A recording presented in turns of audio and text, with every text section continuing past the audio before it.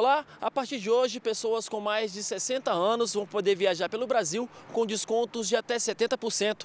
É o programa Viaja Mais, Melhor Idade, que chega em sua segunda edição. O objetivo é movimentar o mercado brasileiro de turismo o objetivo é movimentar o mercado brasileiro de turismo, principalmente nas baixas temporadas. Até o momento, 22 operadoras de turismo fazem parte do programa.